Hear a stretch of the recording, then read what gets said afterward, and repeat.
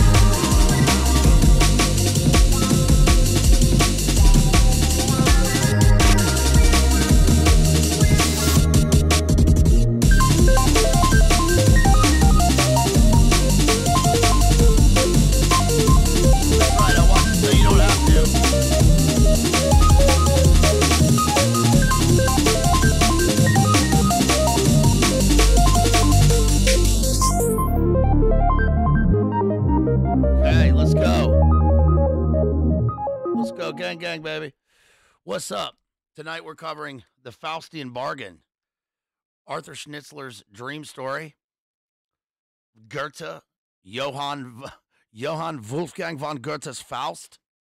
Talking a little bit about part two here, and then also, of course, Eyes Wide Shut. What's the password? Fidelio. That's correct. That's the password for the house. But what's the password for admittance? Remove your yeah. So, yo. So tonight we're covering um the Faustian bargain, and I'm gonna uh, begin, I guess, by talking about Faust, by talking about Goethe's Faust here. Okay, because what we do a lot of times is this is kind of the whole reason for all this is that we hear a lot about this stuff. We hear the tropes and we hear the metaphors and how all these things come about. And we often hear about the Faustian bargain, all this stuff. But very rarely do we go back and, well, we do, but people in general don't out there go back and look at the source material. So I thought I would go back and look at Goethe's Faust. Of course, there was apparently a real Faust on which this is based. And we've talked about Dr. Faustus. Ah, Faustus metempsychosis. Karate, karate. Noctis equi. Right. I'll headlong run into the earth. Marlowe's, Christopher Marlowe's uh, Dr. Faustus.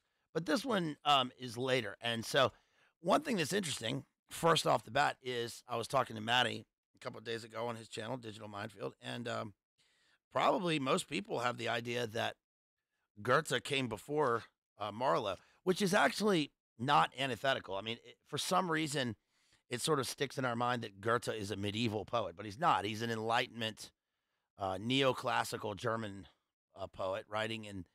Uh, see, Faust one was like 1803, early, early, early uh, 19th century.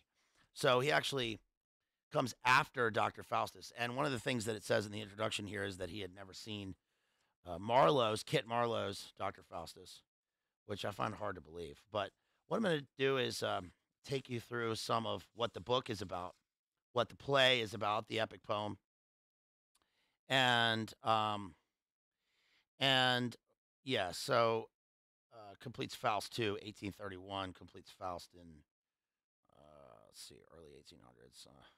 Uh, dies in Weimar. Uh, sad, um, but dies in Weimar on uh, what date? 322. Did you know that?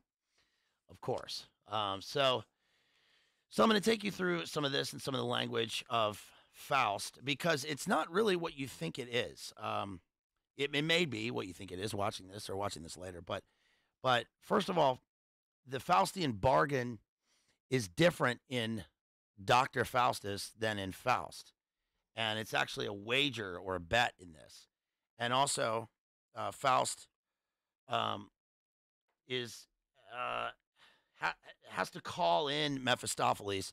We're going to talk about Mephistopheles and what that uh, compare that to elements of Paradise Lost with uh, Satan and Beelzebub. And we've talked about Paradise Lost, talked about Paradise Lost so many times, and Dante's Inferno. But this sort of completes a sort of trifecta of Faustian or satanic literature and classic literature. Um, not satanic literature, but focusing on on um, satanic characters. And one of the things about this also uh, is that that people don't realize is that at the end of Dr. Faustus, uh, Dr. Faustus is uh, drawn into hell. Right? He says he's got he's got no more time, and he's drawn into hell, into damnation, which is what we usually think of in terms of the Faustian bargain. But that is not what occurs in Goethe. Uh, in fact, Faust recognizes his faults and prays and then is forgiven. He actually does not end up in hell. And it actually has a lot of similarities to Master and Margarita, which David Patrick Harry and I covered, um, because the Woland character even appears, the name Woland even appears in this. But there are elements of, I mean, there's elements of the Byronic hero, and there, there, there's so much in this poem. But what I'm going to do is compare it to some of the ideas of the Faustian bargain, which I really think Eyes Wide Shut, and especially um, the Dream Story or Traum novel, Traum novelle, um, Schnitzler's short uh, novella here, really dive into. Um, and that is there are certain types of of Faustian bargains, and there's certain there's certain types of hero's journey, especially when you have a norm when you have a character, you have um, some are born with greatness, some have greatness thrust upon them, right? Some achieve greatness. Uh, others have a have supernatural help. And then in um, in Schnitzler's story at An Eyes Wide Shut, we really have a character, Bill Hartford, who goes through a different kind of Faustian bargain, uh, which is one where he is, which plays into geopolitical elements now, and of course where he is blackmailed into a secret society, circles with, within circles, and he thinks that he is uh, at the top of the pyramid, but of course he learns that they're, they're, we keep getting levels up. Traum novel. Traum in German means dream, but it's also obviously we get a cognate with with trauma and the things that he goes through. It's a traumatic, sort of shocking thing that he goes through, but that he willfully goes through in this journey. And there there are differences between Bill Hartford's uh, trip and um and uh, what's his face um in in Traum novel. But um but I'm going to take you through the various elements of this and Um, and we're going to see uh, how this goes, okay? Because um, I think it's important to look at the language, look at form and content versus meaning. Let me take you through some of the introduction to this book first. Uh, shouts out to everybody. I hope everybody's having a good night, a good week, a good, you know, uh, spring. And uh, if you want to support me, you can uh, like and share. And also, I got the links up there in the chat and in the video description. Uh, I will be, just before we start, I'll be on um, Jim Bob's channel on Friday. And then I'll immediately be following that with TNT uh, Radio with Hesher. And also go back and watch Maddie's channel, uh, Digital Minefield, because I was just on there. We were just on there talking shit, as we always do. Okay, so at the beginning of um, Faust, we have, I'm going to read you some of the introduction here first. But at the beginning of, of Faust, we have uh, say, or Mephistopheles appearing um, in the court of the heavenly host. And it's funny because when he starts talking, um, the Lord says to him, Is that all you can report? Must you come forever to accuse? Is nothing ever right for you on earth? Stop complaining. But let's talk about the introduction here. This says, uh, A man who called himself Faust or Faustus lived in the early part of the 16th century and left his traces in cities like Leipzig and Wittenberg. Of course, that's where Dr. Faustus, uh, he's a doctor, uh, uh, an academic doctor, a PhD, um, an alchemical doctor. We see elements of this, of course, in Frankenstein as well. Uh, but that's where Dr. Kit Marlowe places in Wittenberg. We have the testimony of Martin Luther, for example, in the context of one of his table talks, incidentally referred to Faust, his contemporary, as a conjurer and necromancer. He was wont to refer to the devil as his brother in law. In the mid 16th century, about 10 years after Faust's death, uh, Philip Melanchthon, Luther's close friend and adjutant, spoke of Faust with a mixture of awe and fervent repugnance. Once upon a time, Faust intended to put on a spectacle in Venice, and he said that he would fly into the heavens. Soon the devil took him away and pummeled and mauled him so terribly that upon coming back to earth, he lay as if dead, but this time he did not die. There are other bits of documentary evidence, but while Faust's goings on are not ascertainable in detail, the legends proliferated and in due time began to envelop the scanty verifiable facts. Whatever contributed to the object lesson in the necromancer's reprobate life was worthy of being singled out and enlarged upon for the benefit of pious souls who lived in hopes of salvation. Magic and alchemy were related endeavors from the introduction, and this and their practitioners inspired both awe and suspicion. Awe because they could produce near miracles in their vials uh, and retorts. They were, after all, in pursuit of ancient and persistent dreams. Transmutating base metals into gold, discovering the elixir of eternal youth, achieving human flight, finding panaceas for the plague, and finally the dream of possessing superhuman wisdom. There were reports that the alchemists Paracelsus and Agrippa had performed feats that came close to attaining those wondrous goals. Reports that, along with other fanciful tales, often became transmuted into Faustian lore. On the other hand, the alchemists and necromancers were regarded with suspicion because to bring about their marvels in the laboratory, they obviously had to resort to black magic. And hence, had to be motivated by evil purposes, much like the powerful evil scientist of our day as he appears in animated cartoons on Saturday morning television. Of course, it's a boomer. Always the cartoons, always the cartoon references. Gosh. Um, no, but you get his point, though. Right, you get his point. We have the mad scientist, and of course, we have the priests of scientism. In the 16th century, an age of great religious turmoil and fervor, the alchemist magicians were seen as tampering with the divine order of things and this is tr- again transmutated into our own day. Thomas Mann wrote the, wrote a novel about uh, Dr. Uh, Faustus. Uh, Dr. Faustus, 1947. He has the narrator play on the common root in the German word uh, ver, vers, versichen. I don't know this word, meaning to try or test. Versuch. And then it says, surely, forgive me, German speakers. Uh, surely, where there's temptation, the devil or Mephistopheles cannot be far behind.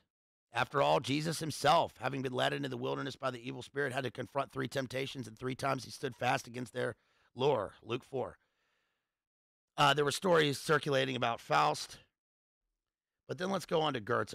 Um, it says here To the 18th century, however, the interpretation of the Faust story in the dim light of old biases and medieval superstitions must have seemed quaintly picturesque, superannuated, and irrelevant to the sensibilities of modern man because this is this is the enlightenment right this is enlightenment going into post enlightenment neoclassical era so of course he's going to say this Faust, chafing at his human limitations, could no longer in itself be regarded as sinful. okay, a new pride in the great. This is this is Faust and Eyes Wide Shut and all of these books that we talk about usually deal with hubris and with, of course, pride. Right? Hubris in the sense that Dr. Faustus thinks Dr. Faustus or Faust thinks that uh, he can win a wager. He can he can there's nothing that will shock him. There was there's nothing in the world that he can learn. He knows everything. Um, until finally he learns uh, humility and kindness. Uh, he learns um, to care for someone other than himself, which is sort of the lesson of the whole thing. But then it says, and I'm, I'm sort of a glib statement or, or simplistic, but it sort of boils down to that. It says, indeed, at the uh, at the end of the second part of Goethe's drama, Faust has earned the right to divine grace, right? Um, a new pride in the grandeur of the individual, fed by rekindled confidence in the capacity of human reason to unravel nature's mysteries, made it possible to see in Faust not only the sinner, but also a representative example of what is noble and divine in man, an unquenchable thirst for knowledge and an inborn need to explore by spiritual as well as sensuous means the limits of human potential, the human potential movement. Uh, this talks about Goethe's life, which I'm going to kind of skip here. Uh, in 1773, he was a 24 year old, 20, 24 year old law student. There's why, that's why there's law peppered in uh, throughout Faust and uh, legal references here. It says, um, in his long life as a scholar, Faust had reached the melancholy conclusion that he would never know what is truly worth knowing, that he would be blinded by the light of truth and must therefore be resigned to live with mere reflections and counterfeit images. Since he has little faith in even the devil's ability to satisfy his craving to the full, he is confident, though by no means cheerfully so, that he will win the bet. It, it's one thing that's interesting is the differences between these these two works, Marlowe's work and Goethe's work, is that Marlowe's work, you know, if I were dramatizing the work, if I were putting on a production, I would concern myself with the fact that his motivation, Dr. Faustus's motivation, is to uh, experience 24 years of what it means to be the, the wisest man in the world, to learn everything that he can, to, to, to be the font of wisdom. And then uh, finally to, uh, to fall in love with the woman that he does. But Faust is different because Faust truly wants to transcend. He wants an apotheosis where he can be a god.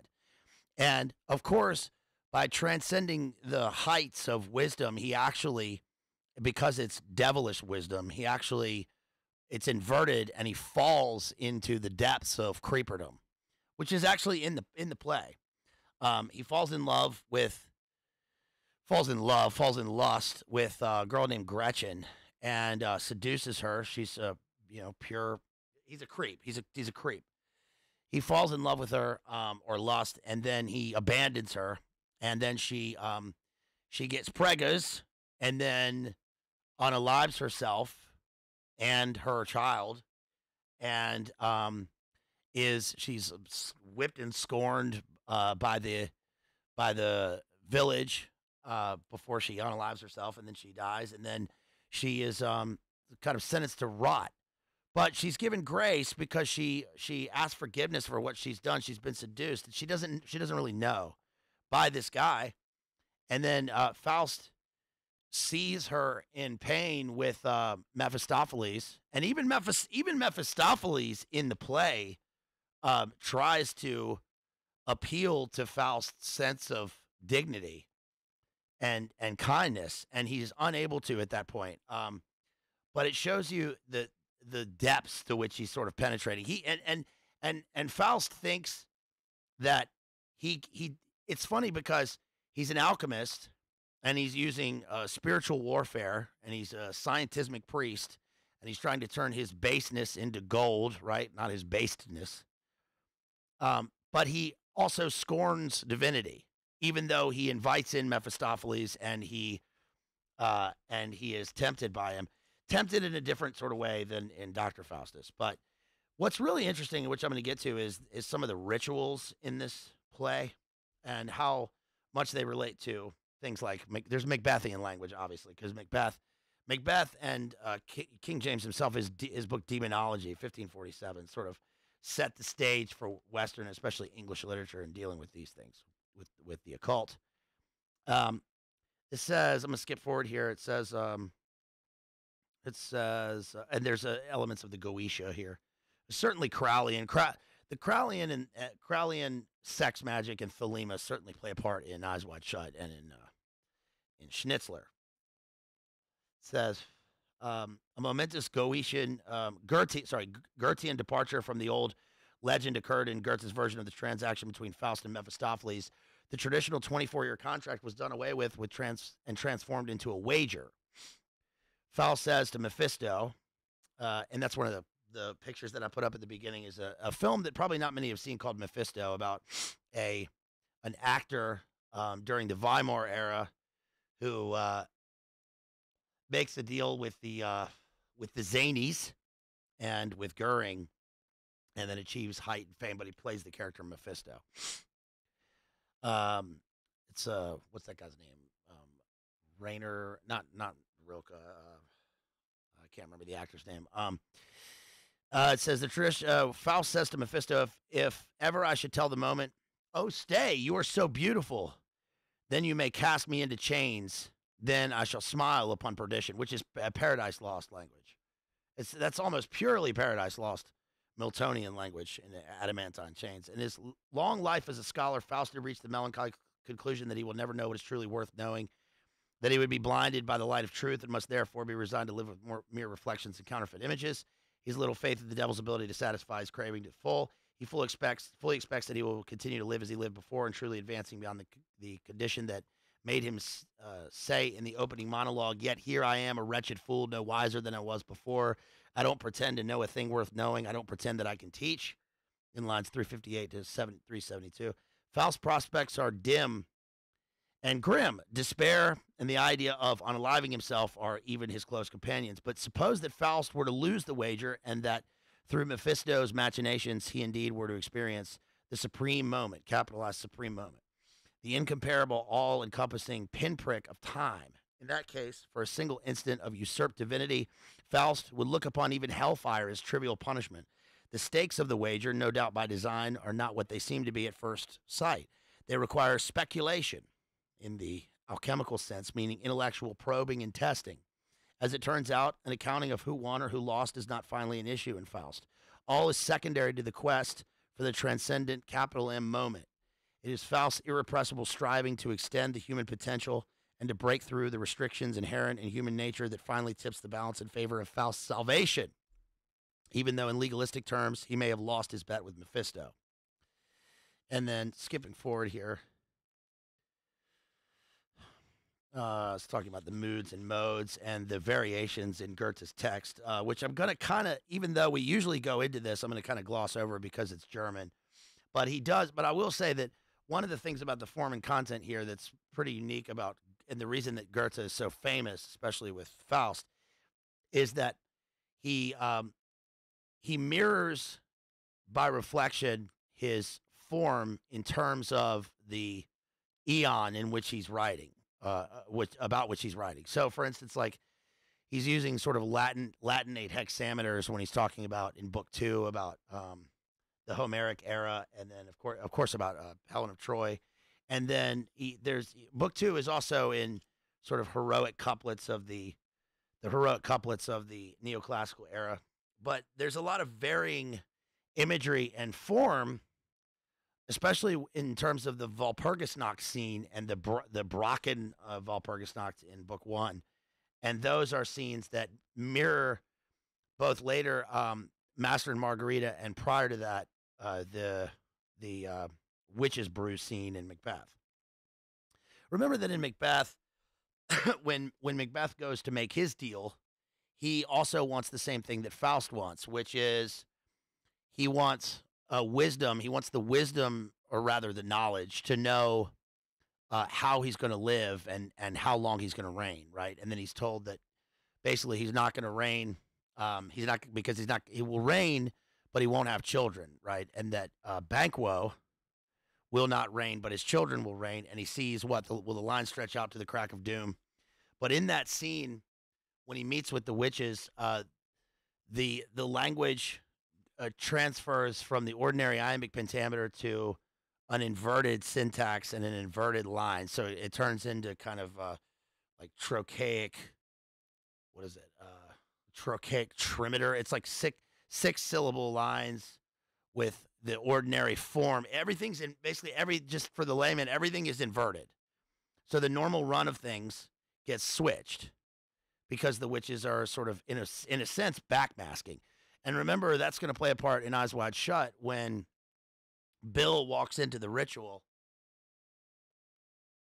and Nick Nightingale is playing the song, which is a, uh, I think a form of or it's a it's it's, Orthodox liturgy, but it's backmasked. It's played backwards. It's that Jocelyn Pook song. Um,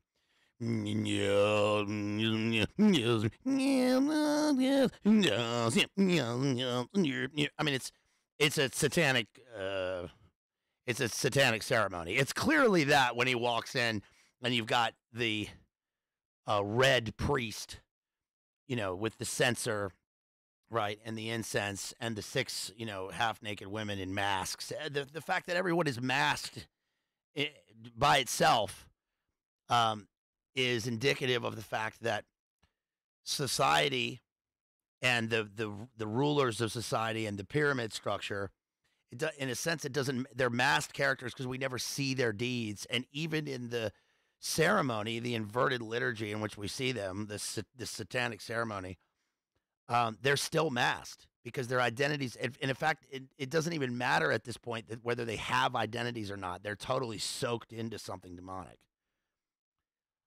um, it says, while a uh, diversity of approaches to the Faust poem have over the approximately century and a half of its existence produced incredible insights, critics with an all too single minded perspective tended to obscure values that are accessible only to a different optic. The poem's philosophical problems, for example, those having to do with the nature of truth and of cosmic government, governance, have been explored perhaps more intently than uh, intensively than any other aspect.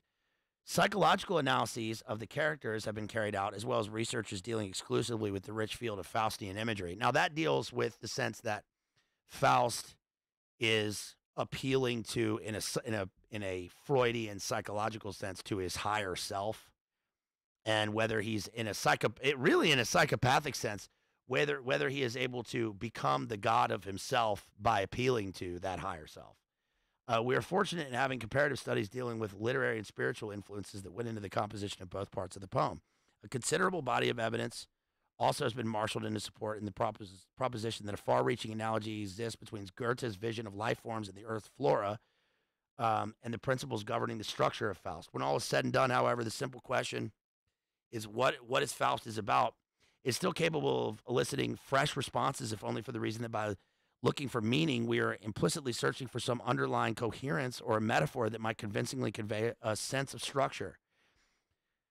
To find textual confirmation or for one's own intuited, let's see, intuited image of unity in Faust is the exhilarating reward of devoted study. Certainly, even after only a fleeting acquaintance, one must ask the question what is it that keeps Faust dissatisfied, even though he has mastered all the academic disciplines of his day? Why can he not be proud of his accompli- accomplishments and have faith in human progress like his redoubtable assistant, Wagner. Got an assistant named Wagner. At least part of the answer may be found in the most concentrated symbol of Faust's imperious need, the all encompassing moment, the Augenblick, that is the subject of the wager with Mephisto and the thematic undercurrent of the entire drama. To experience in a single instant the succession of events that mark our existence in time is equivalent to eliminating time altogether. It means an existence in a continuous present tense. As temporal creatures, nervously feeding uh, shortening future into a lengthening past, we attribute to the gods a timeless mode of being and an existence in total simultaneity. Therefore, Faust's craving for the highest moment really amounts to the ultimate hubris, what I just said. He is reaching for more than mere superiority among men, more than Macbeth, who would be king, and more than Oedipus, the incomparable solver of riddles who was the king and came to know it too late. Faust reaches for divinity, divinity and is hell bent to burst out of his imprisonment in temporality. So there you go. That's that's that's pretty much the point of Faust. Um, but yeah, it begins with uh, the wager in heaven. Uh, Mephistopheles.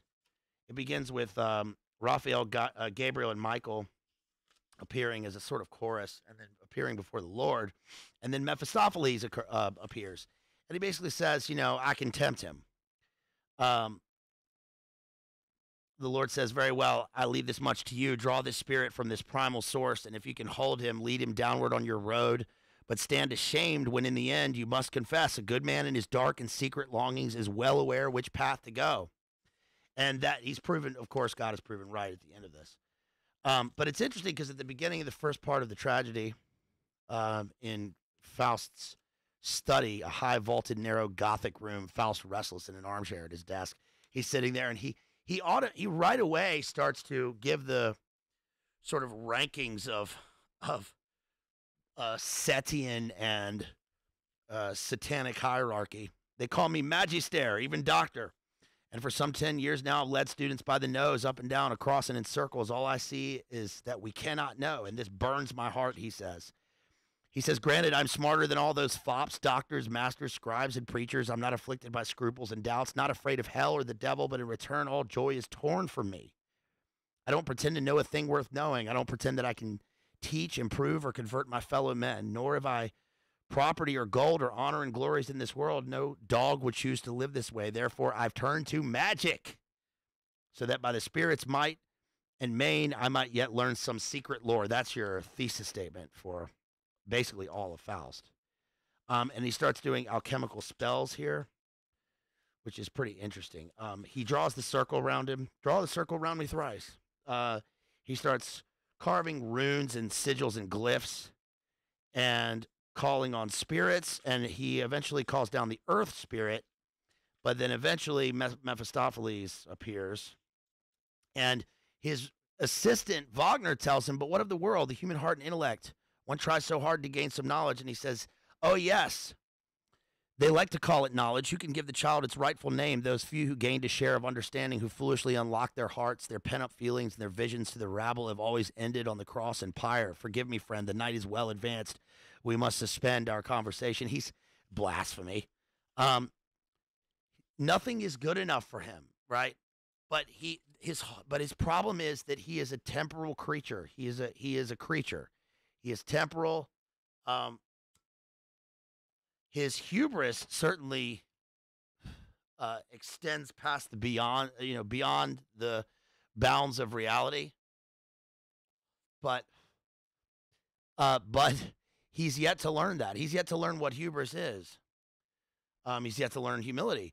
A fiery chariot borne on nimble wings approaches me. I'm prepared to change my course to penetrate the ether's high dominions toward novel spheres of pure activity. Do you, scarcely better than a worm, deserve this lofty life and heavenly de- delight? Now be resolute and turn your back on our earth's endearing sun. Be bold and brash and force the gates. That's Macbeth. Be bold, bloody, resolute.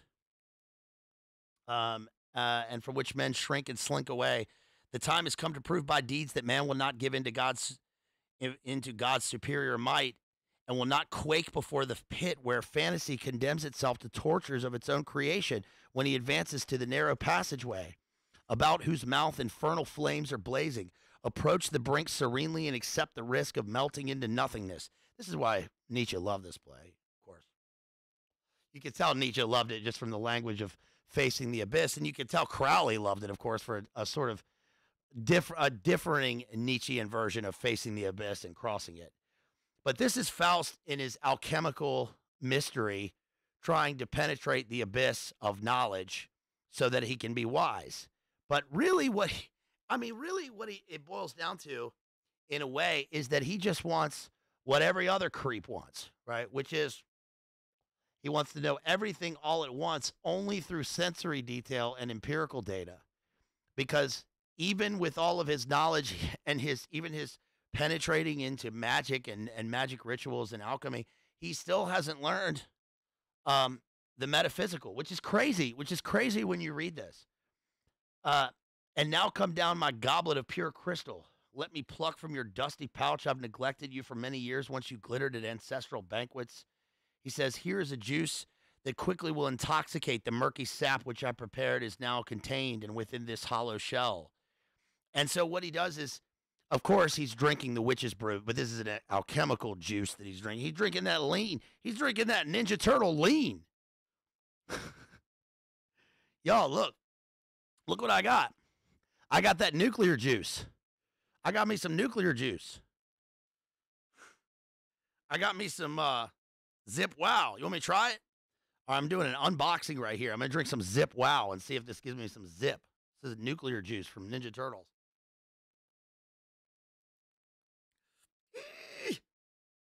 Ooh! Man, it tastes like poison.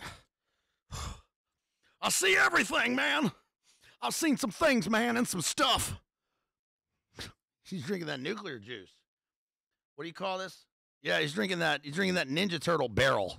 He's drinking that barrel of dirty lean, or whatever that is.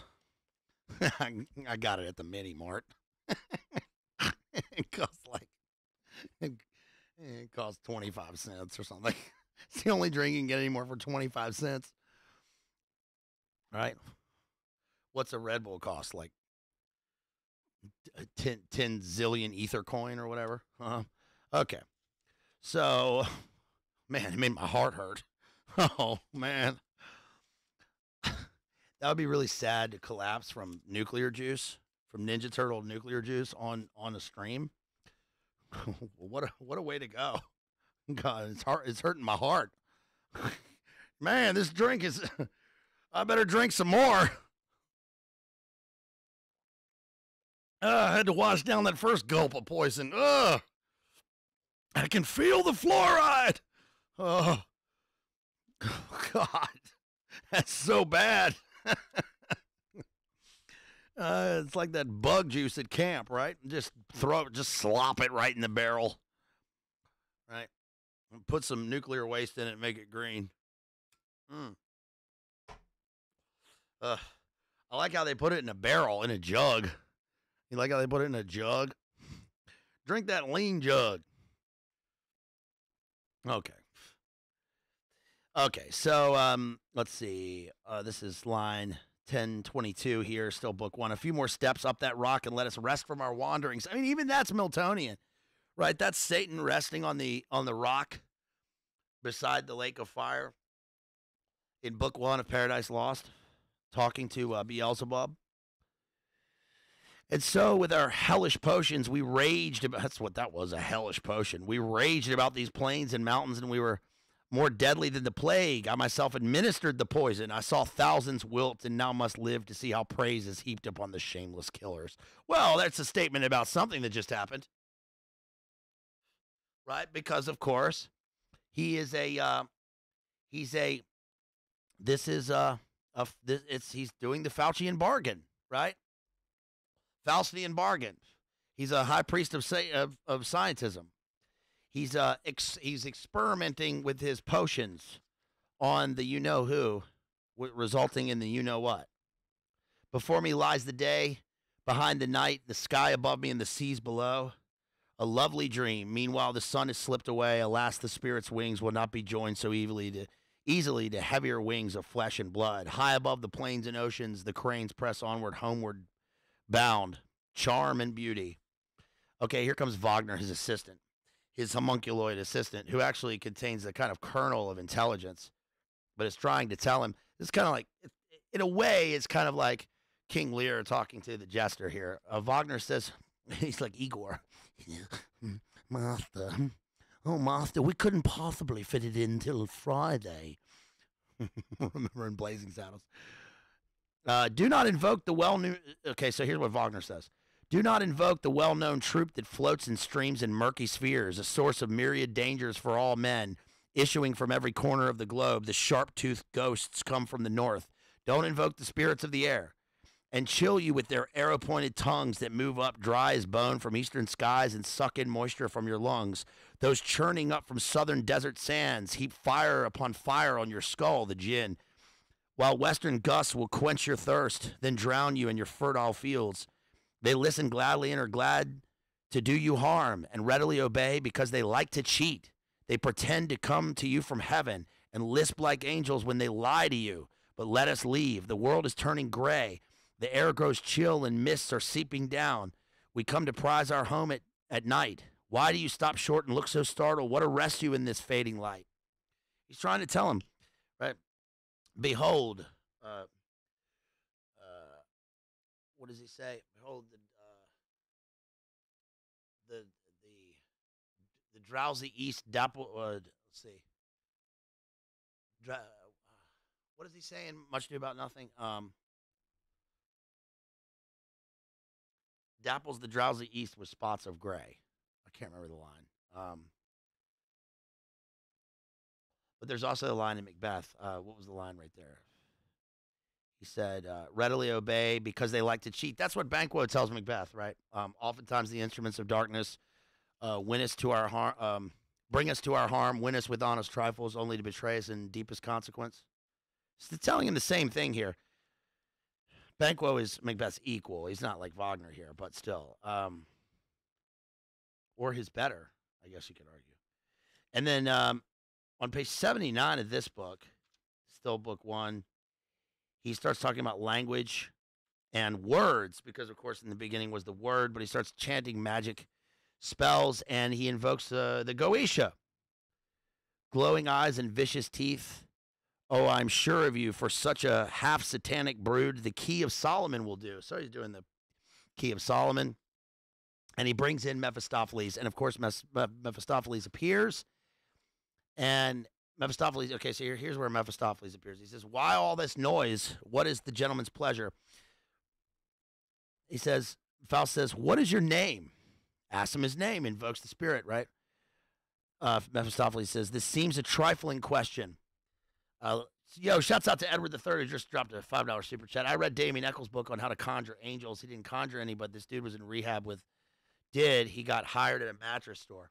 Well, oftentimes this is what it says. Oftentimes, the instruments of darkness, you know, appear as angels of light, but they are uh, Luciferian devils, um, or the in terms of the Goetia or the Key of Solomon.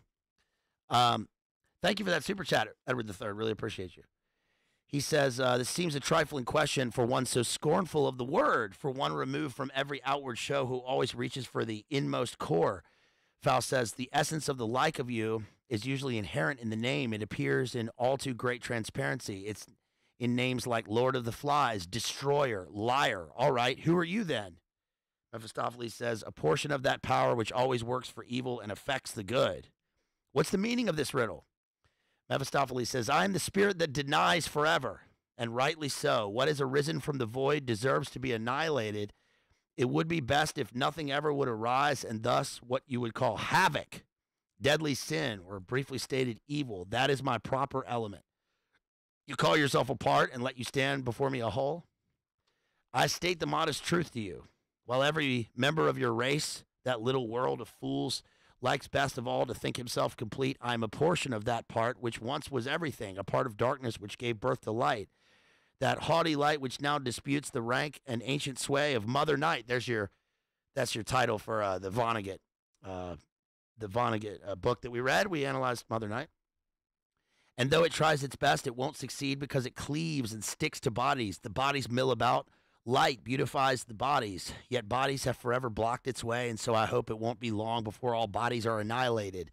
So, of course, he appears and he says he he's invoked and and must tell the truth. Of course, there's a it's a limited hangout, right? There's always a portion of a lie in here, but he's telling the truth because the bargain has to be uh, outright. He can't. He can't. He can't um, con in this sort of a wager, in this deal. He can't con Faust into something if he doesn't know the whole truth about what he's doing. He has to walk into it willingly, and of course he is. Um, but what he's saying here is that he's giving the same mo that Satan gives right at the at the uh, start of Paradise Lost, which is that He's heard about the world that's arisen from the void, right? Uh, let there be light. God makes the earth, and then God creates human beings as his creation. And Satan and the devils hear about this from below, and then hell is empty and all the devils are here. They come up to the earth and they try and destroy mankind and tempt them away from God's grace. And that's, he tells him that's what he's here to do. Um, he says, uh, let's see, here's sigils. Faust says, Against the ever working forces, the healing and creative powers, you thrust your cold, infernal fist in truculence. It's clutched, it's clenched in vain so you'd better seek some other work, you fantastic son of capital C chaos. Of course, why why is it cold? Why is it a cold infernal fist? Because just like in Dante, which far precedes this, of course, uh, the night circle is cold. It's so hot that it's cold. Um, Mephistopheles, well, let us give this matter further thought and discuss it when we meet again. May I withdraw this time with your permission? It's interesting. He has to ask his permission to leave. He's been hailed in, and then he has to ask his permission to leave. So, so this is also different from what we normally think of. Once, once Faust invokes Mephistopheles, Mephistopheles wants to leave. He's got some um, devilry to do, and of course he's a he's a slave to time, and and he's not able to without permission. So, uh, let's see. Yo, shouts out to let's see somebody right there. Shouts out to uh, Jason right there who dropped ten bucks on PayPal. Appreciate that, Jason. Thank you so much. And hey, shouts out to Crystalline out there. Thank you, Crystalline. Really appreciate you. That's five bucks on Cash App. Thank you so much. Very kind of you. Very kind of you all out there. Really appreciate your support. Um, let's see what Crystalline says. She dropped a message. Crystalline drops no message. Thank you, Crystalline, because she's driving, of course, I think, right now. So hope you're being safe out there driving. Um, says, I see no reason for your question since we have now become acquainted. You have leave to visit me at will. I said, I wrote, I wrote, I wrote, dumbass. Here's the window. The door is over there. Feel free to use the chimney too. Mephistopheles says, I must confess there is a little obstacle that prevents my exit from this room the wizard symbol, symbol on the sill. This is really a great detail. Faust says, The pentagram should cause you pain. Why, tell me, son of Hades, as it holds you now, how did you enter here? How did you swindle such a spirit? Mephistopheles, look closely now. The figure is not drawn too well. One of the corners facing outward, as you can see, is slightly open at the tip. A lucky accident has come my way. You, my prisoner? Well, he says he says he'll be damned. And I wrote, Yes, you will be. Uh, it seems I've turned a handsome profit. So, of course, he has drawn the circle with the pentagram to capture uh, in his magic circle Mephistopheles, but it has one one part of the circle partly open. This invites him, but it also prevents him from leaving. Um, and now he owns him, uh, for, and that's going to be for what is originally 24 years, and then turns into Mephisto- um, Faust uh, getting younger in age and experiencing the the wisdom of youth of looking of being old but in in a youthful form. And of course he he is the part of the deal is that he has trapped him but that he will sell himself as a as a hellish slave uh, for later. This is like david berkowitz territory right? What do you guys think so far it said mephistopheles says a hellish law stands in the way he's he's bound by hellish laws and these are the glyphs and sigils. Wherever we steal in, we must steal out. We're free to choose the first, but the second finds us slaves. That's interesting. So that again is you can see why Crowley loved this book, right? This is like uh this damn wizard sitting here doing sorcerer doing spells and all of the symbols and glyphs have meaning and a law. And of course Goethe was a lawyer. I mentioned that earlier. But Faust says, so hell itself has its legalities. Yes, there are rules. It's not total chaos. You're still bound by heavenly law, and you're still bound by God's law, and you're bound by the laws of hell. So hell itself has its legalities. This suits me fine, and I suppose a pact might be concluded with you, gentlemen. Mephistopheles, the promise we make you shall enjoy in full. We will not skimp or haggle, but this business should not be done so hastily. We shall have another meeting soon but now I must ask you politely to let me out immediately. Please stay on a while and entertain me with some more details. Let me go, my friend. Mephistopheles calls him his friend now. I'll soon return, then you can ask me at your pleasure. I did not stalk you in the field, says Faust. It's you who came and fell into the snare. Let him who snares the devil hold him fast. A second chance will not occur so soon. This reminds me of the devil and Daniel Webster. Short story right here, but that's with Old Scratch. Uh, old Scratch, Old Nick. And then he says, let's see, Mephistopheles, here's where the form the form changes. See how it, it turns into a, a chimney like form here, structure. He says, and this is also Macbethian uh, blissful sense will come your way, then your palate will be stimulated. You will be bathed in ecstasy. For this, you need no preparation. We are assembled and now begin.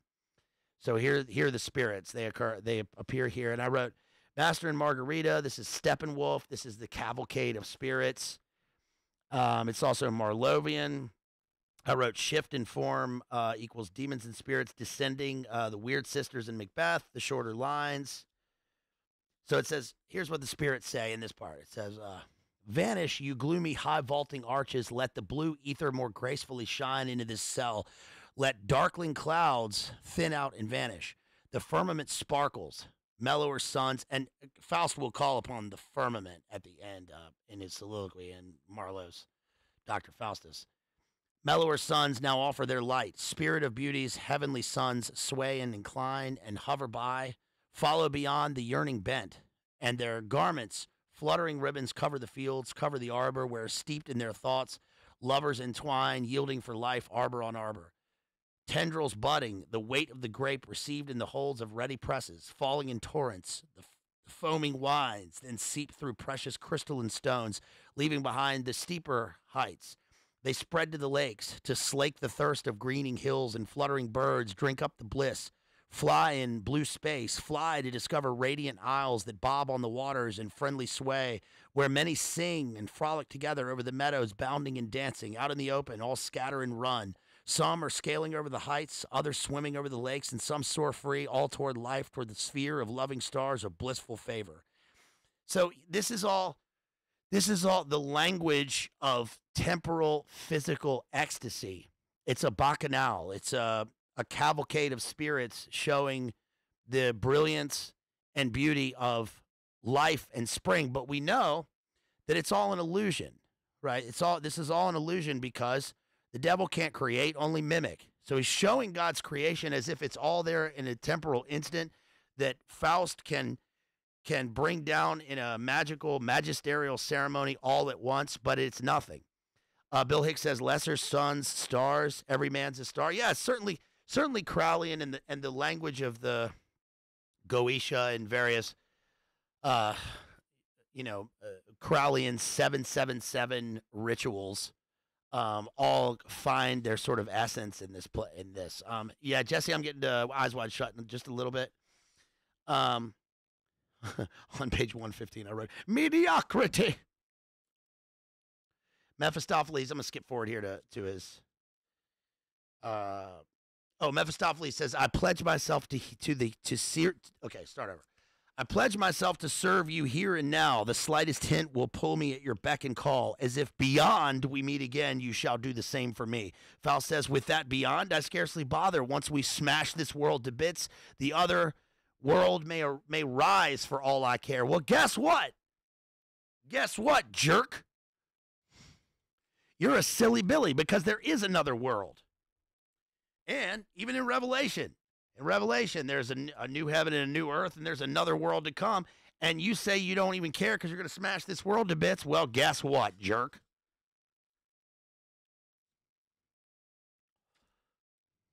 You know, this guy's a real jerk. This Faust, this Faust guy, you know, this this this guy's a real jerk. Um, Mephistopheles, page 111, who dwells in everlasting radiant glow and relegated us to darkness. He's talking about God now because the because the demons in this even they have to respect God when they're especially when they're talking about or in his presence. And he's trying to tell him, back off, back off, Buster. You don't need to make this deal. It's a stupid deal. But he wants him to make it anyway. So Mephistopheles, splendid words for sure. However, one thing worries me: art is long and time is fleeting. Right? Um, Gather ye rosebuds while ye may, old time is still a flying. And this same flower that smiles today, tomorrow will be dying, right? And at my back, I always hear time's winged chariot hurrying near.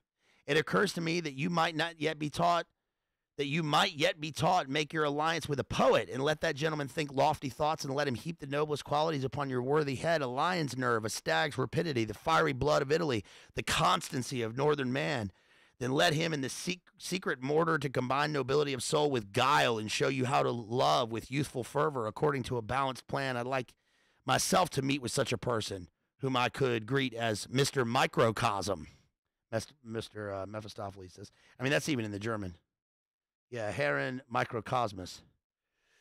Um, so what he's saying here is uh, part of the deal also is that you can't think lofty thoughts. You can't, you can't. Um, he's not allowed to praise God or think about God or think about lofty thoughts. He has to keep keep everything base and hellish, even though in the grandiosity of his uh, poetical thoughts and of his uh, alchemical and learned thoughts, and in his sensory, in his empirical data sensing sensory detail, he is uh, expounding. You know, he's going past the bounds of reality and past his corporeal form.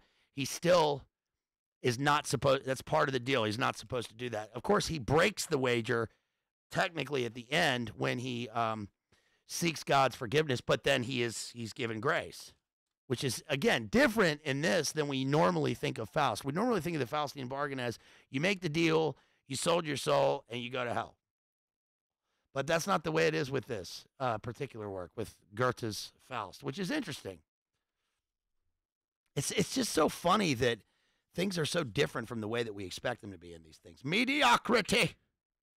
I'll drag him through this. Oh, and by the way, the constancy of Northern Man is a Shakespeare and Caesar reference. Um, but I am constant as the northern star, of whose true fixed and resting quality there is no fellow in the firmament. So in the world. That's what Caesar says when they ask him to change his mind right before they uh, smoke him in the Senate. Um, this word, okay, a line 1859 leapfrogs headlong over earthly pleasure. Again, you know, this this is why with Shakespeare or with even with this, where he says he never saw uh, or read Marlowe's Dr. Faustus, I have my doubts about that. I mean, maybe he uh, got this through osmosis, but there are certain words in the sort of coded language of poetry, of the poetic form, where they exist as part of the the speaker or the poet's uh, rattle bag, right? As Ted Hughes says, like when when you use the word headlong, it's a it's an interesting and unique and very specific word to use in light of Faust. And and Marlowe says that I'll headlong run into the earth. And here he uses headlong. I know it's just there's only so many words, and but of course it's German. But still, um, der Erde Freuden überspringt. I'll drag him through the savage life, through the wasteland of mediocrity, is what Mephistopheles says. And he's talking about Faust here in his soliloquy. Let him wriggle, stiffen, wade through slime. Let food and drink be dangled by his lips to bait his hot insatiate appetite. He will vainly cry for satisfaction. Had he not by then become the devil's, he would perish miserably. So it's interesting that, you know, part of the part of the journey here is that he Mephistopheles intends that in the end, and this is partly right for scholars, in the end, it's not the vault, it's not vaulting ambition that uh, uh in into which you find yourself, it's actually just uh, the base slime of mediocrity, which is which is worse than obscurity, right? That's Salieri. That's uh, you know, because you're neither hot nor cold, I will spew you out of my mouth. Here's Mephistopheles on page 149 with the language of Macbeth. False when and false where the foul and fair be here, be there. Right? Fair is foul and foul is fair. Hover through the fog and filthy air. That's how Macbeth starts. And of course, when Macbeth appears in the play, his first the first thing he says is "So foul and fair a day I have not seen," which is a mixture of the two, but it's also an inversion. It's an it's an unconscious inversion of foul and fair, right? So the beautiful day is nothing to him. It's the foul day, day that's beautiful to him because he's just this, uh, he's just um, gotten out of the battle, right, where he uh, unseamed him from the nave to the chops but also because because ugliness and terror are beautiful to the weird sisters, to the witches, to the three fates. And the three fates sort of occur in part two with the the uh, the Great White Way, the the Watchers, the women who appear. Um, let me skip to uh, later on, Forest and Cavern. Here we go with um, the start of the Walpurgis Nacht scene. When the wind when the winds roar in and rattle and giant spruces break and topple, crushing neighbors and obstructing limbs, and the hill responds with inward thunder, then you lead me to the sheltered cavern and show me to myself, and then reveal to me profundities within my breast. And when the pure moon rises soothingly before my gaze, the silver phantoms of a bygone age drift toward me from rocky walls and dew soaked bushes and temper meditation's austere pleasure. This is a platonic sense uh, uh, of searching inward. And this is um, Faust talking here in a Byronic sense uh, the start of the Walpurgisnacht scene, where there's a cavalcade of spirits and witches. Um, and um, and later he he hears Margaret talking about, I hate him from the bottom of my soul. Nothing is in all my days wounded me as deeply in my heart as that repulsive person's hard face. She's talking about Mephistopheles here. So the person that Faust uh, seduces here, who is the supposed to be the embodiment of of uh, innocence, because he's a creep. Um, even even Margaret or Gretchen, they are they find the sight of Mephistopheles repugnant because they are sensitive to this evil spirit. Everybody else, even when Mephistopheles is in is in disguise or shape shifts, he's following. Like there's, there's one part where he's following them in a, like as a black dog, and Faust recognizes. Faust can recognize the spirits, and the spirit of the and the innocent people can recognize the spirits of ugliness and evil. But everybody in between sort of just goes about their life and doesn't have any sensitivity to it. They're either they're too far. They're too far away. Faust is too close to hell and she is too close to innocence. But again, uh, seeking the the uh, seeking oneself inside one's you know the deepest uh, depths of oneself in the abyss is a sort of a Nietzschean Crowleyan element here, but also is going to play a role with uh, Traumnovelle and with Eyes Wide Shut because Bill Hartford, or what's the protagonist's name in this book? Um, or what's his what's his name? Fridolin. Fridolin. Yeah, Fridolin, who is Bill Hartford. Um, is his the whole point is that he is one of the points is that he is searching for something outside of himself, right? Because he's searching outside of the hearth at home. He says at one point in the book he'll do anything to get away from his wife. Um, and he ends up in the inner sanctum sanctorum of these devil people. But even they are confined within their their cloaks and their masks. So they're still hidden. They're, they're even hidden from themselves. But they can't hide from uh, God's justice, and they can't hide from this Faustian bargain that they've taken on. And Fridolin sort of learns that. Bill Hartford learns that as he goes on. That's why at the end of the movie, when he gets home, you know, he sees the mask on the pillow. I'm going to get to this in a second, but uh, yeah, it says Unsolved Mysteries. Um, he sees the mask on the pillow, and uh, he is unable to get away from what he himself has become, which is he's wearing a mask of his own face, essentially. So, um, let's see.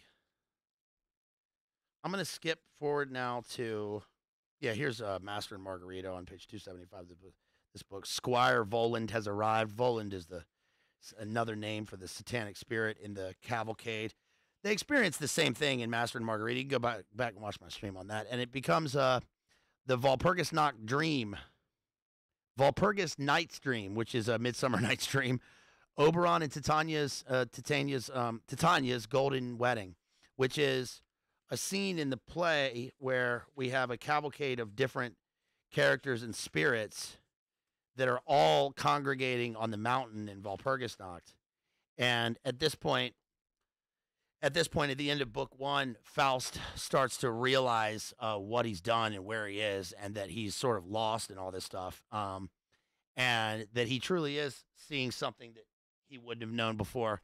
And then, of course, in book two, um, it takes us back to classical Greece, and the form changes in the book. Eventually, he asks for grace, and he is forgiven.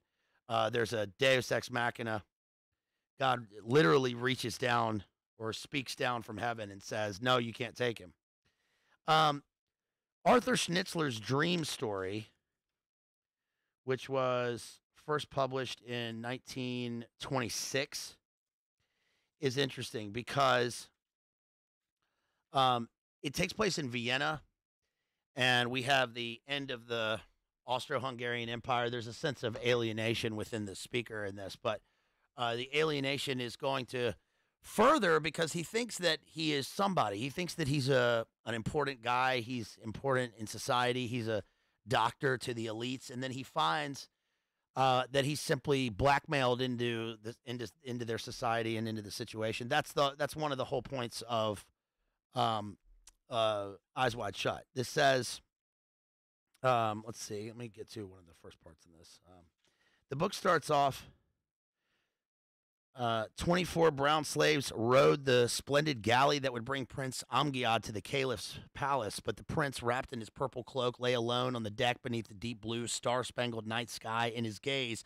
Up to that point, the little girl had been reading aloud. Now, quite suddenly, her eyes closed. Her parents looked at each other with a smile, and Fridolin bent over, kissed her flaxen hair, and snapped shut the book that was resting on the table, which had not yet been cleared. The child looked up as if caught out. Nine o'clock, time for bed. It's interesting because the story begins on the brink of a dream, just like Eyes Wide Shut begins at nighttime with Jachin and Boaz on either side and Nicole Kidman uh, stripping in the movie. But it's it's on the brink of the child going to bed, and they're going to go to the Christmas party, right? And then there's going to be the after party, um, and then the after after party but it's this starts with this sort of dreamlike language, and it also is reminiscent of Faust, right? It it almost begins in the Walpurgisnacht scene where we just left off, um, and so what happens is uh, they go they go to a party, and when they come back, um, Fridolin in the book, it the movie roughly follows the book, uh, but Fridolin is sent to take care of this woman and her dad. A count has just passed away, and you can tell that she's in love with him. Um, but he sort of rebuffs her, and then he walks around. He's walking around town. He gets uh, pushed aside by a group of rowdy young uh, young um, youths, and then he meets this guy Nachtigall, who is, of course, Nick Nightingale. And in the book in the film, uh, Nick Nightingale is playing piano at the Christmas party, um, but in the book, he meets him in uh, one of the cafes, and then he says, you know, he was supposed to be a doctor, but he's not now. He's just playing piano, and then uh, Nachtigall or Nightingale says, "Oh, you're mistaken. It's not what you think. I've seen quite a lot of things, things you wouldn't believe in such small towns, especially in Romania." But one lives and learns. Here, however, he drew the yellow curtain back a little looked out onto the street, and as if to himself, he said, Not sure yet. I mean, the coach, I've always picked up by a coach. It's a different one each night. And then, of course, listen, said Nightingale after some hesitation. If there's anyone in the world I'd do a favor for, it's you. But how would we go about it? Do you have the courage? Do you have the courage? So this is interesting because in Eyes Wide Shut and in uh, Traumnovelle, it's it's as if Bill is being gang stalked and gaslit. I mean, it's he's walking around the gaslit uh, town right here at night, um, but he's being gaslit into going to this situation in the first place. Everything sort of leads him there. It's it seems no accident that Nightingale is there to meet him and is playing at the party and then gets him to go. This is after Tom Cruise in the in the movie, of course, right, is at the party and he's asked upstairs when he's walking. By the way, when he's walking around the party, it is so weird when you go back and uh, watch Eyes Wide Shut that they go to the Christmas party. They're walking in. Uh, Nicole Kidman, Dr. Anthony Kidman's daughter, um, is walking around this Christmas party, and like there are Christmas lights on the wall, and there's like cascading lights and everything, but it, they don't look like Christmas decorations I've ever seen. Now, yes, on the surface, there's there's like Christmas trees everywhere in the movie. It's a Christmas movie, but notice the soft light, and notice how the sort of eerie soft light And it's almost like we're looking at ornaments on a tree like all the characters are just ornaments. Like they're all there just to decorate this pagan thing, right? I'm not saying the Christmas tree's pagan. I'm saying in the in the in the in the movie and in the book, we see that sort of level of symbolism of it. Okay, I'm not saying that. I'm just saying that they all sort of seem like baubles and elements that somebody else has stuck up on a tree just for their own amusement. Right? Because that's one of the things about amusement is that is that one of the points that's I think often missed, not by the not by the base people, but one of the points that's often missed of Faust and Eyes Wide Shut and uh, the Dream Story is the purpose of Albertine or uh, whatever her name is in um, Eyes Wide Shut is Nicole Kidman's character. Or she's Albertine in the in the book, but that when he gets back from the ritual and he's talking to his wife, this occurs in both works. She immediately wakes up from a dream, so it becomes meta because it's there's a dream and it's the dream story and it seems dreamlike. And she immediately tells the story about how she was at a place where she was uh, disrobed and in the movie, it's like a na- it's like a navy guy.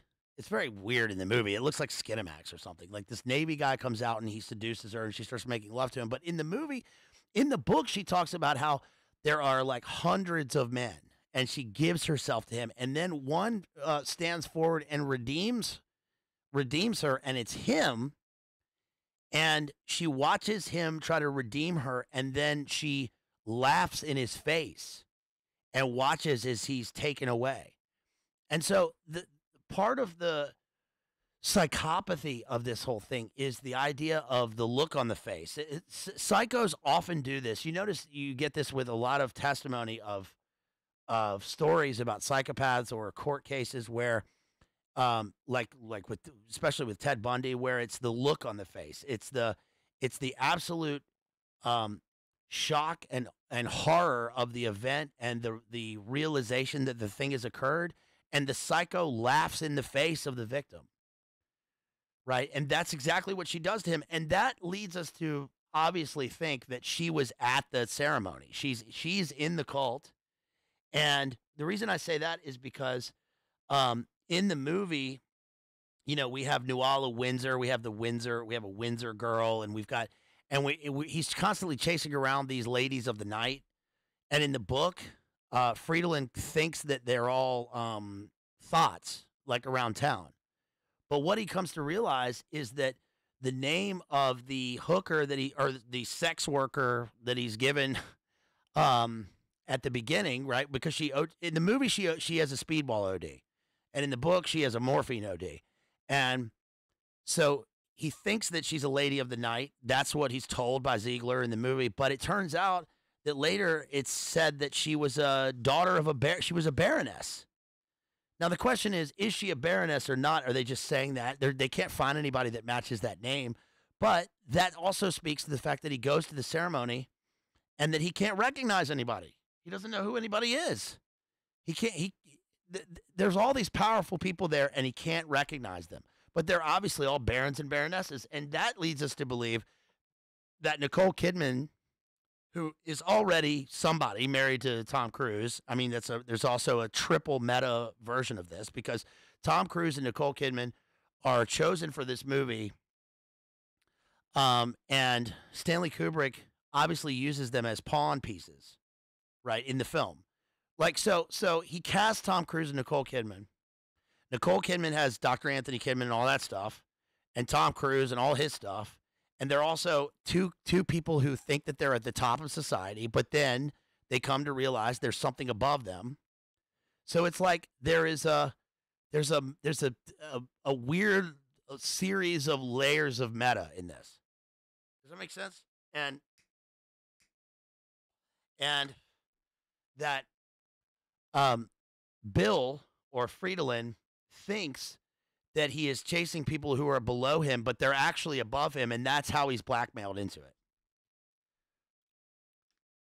When he meets uh, Nick Nightingale, um, Nick Nightingale says, I can see things in the mirror through the black silk, silk scarf tied over my eyes. Um, don't call them females. You've never seen such women.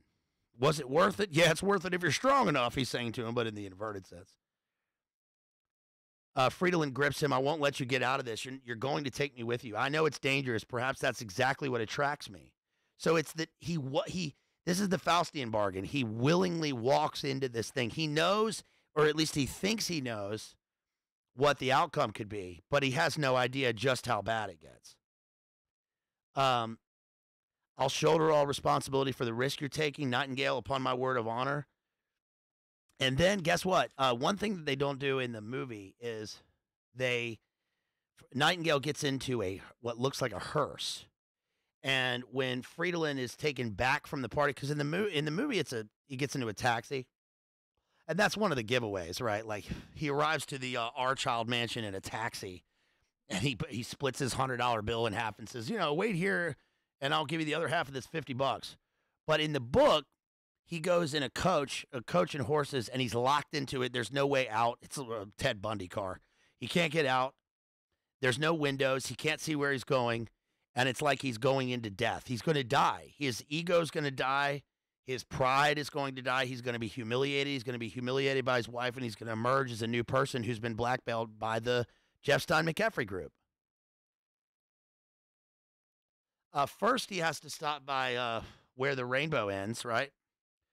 uh, over the rainbow, which of course, you know, Jay points this out brilliantly in in uh, in his streams on this and in Esoteric Hollywood, talking about where the rain over the rainbow. So we get Wizard of Oz elements of this. We get uh, the path to illumination. There's you know there's a sense of the Dorothy character. There's also, of course, there's the Wizard of Oz, the man you know behind the curtain, and everybody at the party is literally behind a curtain because they're all in in like monks habits they're all in costume. They're all in mask. It's a, you know, Venetian ball, but they're all in masks and they're all still behind the curtain. So once you see who behind who is behind the curtain, then you've entered the Emerald City. Emerald is all, always used. We've we've covered that so many times on this channel in so many works about the color green, the green vapor in Dracula, the green in Frankenstein, the green every evil work that we or work that we come across about evil always has green associated with with um, decay, uh, with this sort of sort of overarching metaphysical decay of of uh, satanic inversion. I mean, even in even in um, Great Gatsby. Remember when we we did Great Gatsby, and you see the green light on the other end of the harbor, right? Um, and we sort of figured out in that one that Great Gatsby is, is Jeff Stein McCaffrey Island. It's he's running an operation, the same thing. Um, but when he comes to uh, the Rainbow, and in the movie it's Rade Serbedzija, right? However you say his name. I love that guy. He plays. Uh, he's in um, the Saint. He plays um, a kind of Dugan character in the Saint, right? He's uh, what's his name? Bullet Tooth. Is he Bullet Tooth Tony?